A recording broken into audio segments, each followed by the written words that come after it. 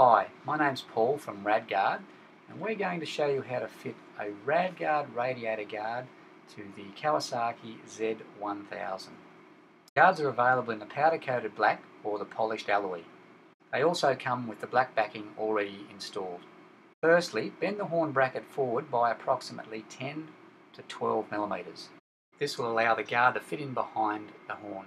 Now remove the horn bracket by undoing the two bolts. On the left hand side of the bike, remove the two bolts that hold the fairing in place.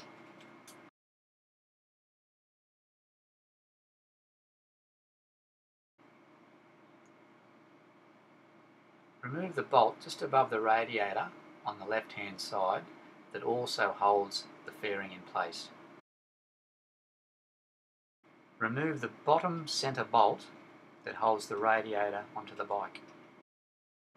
Push the left hand side fairing up a fraction. Place the rad guard in front of your radiator and hook it over your radiator's core.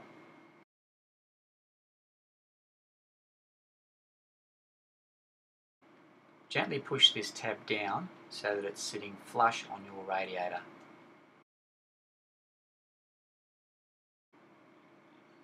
The right hand side tab just sits on top of your radiator core. Attach the guard using the same bolt you removed earlier.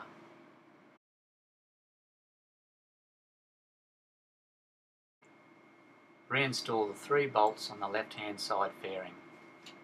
One at the front and two on the side. Last of all, reinstall the horn and you're finished. We usually have our full range of rad guards in stock, so if you'd like to order, just call us or visit the website on www.radguard.com.au.